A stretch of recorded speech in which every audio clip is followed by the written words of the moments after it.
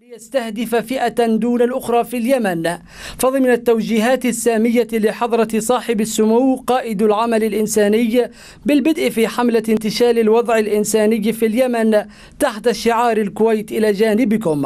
ها هي اليوم تقوم بتوزيع 750 سلة غذائية لذوي الاحتياجات الخاصة في جمعية الصم والبكم في كل من محافظة لحج وعدن بتكلفة بلغت 15 مليون ريال.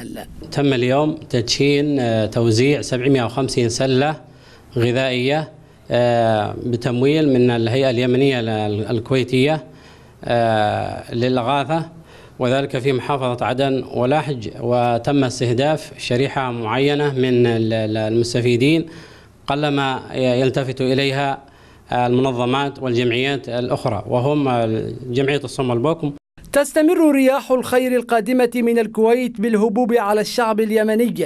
فبعد بناء دولة الكويت الجمعيات ومساكن ذوي الاحتياجات الخاصة تقوم اليوم بالاهتمام بغذائهم والذي يتزامن مع شهر الخير والرحمة شهر رمضان المبارك. أولا نشكر آه، دولة الكويت آه، قيادة وشعبا على ما بذلوه لإخوانهم في اليمن. آه، من دعم سخي في المجال الإغاثي والمجال وفي كافة المجالات الخيرية والإغاثية. ثانيا السلة المقدمة من دولة الكويت لمحافظة عدن.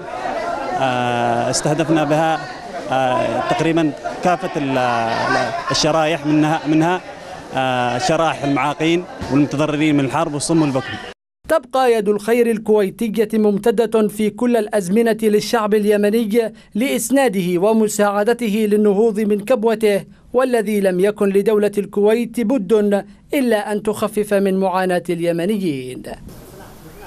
يبقى العطاء الإنساني لدولة الكويت في شتى المجالات والذي تجسد اليوم بتوزيع المئات من السلال الغذائية لذوي المعاقين هنا في محافظة عدن والتي ترسل رسالة إليهم بأننا نقف معكم في أحلك الظروف. مروى النبيل لتلفزيون دولة الكويت عدن.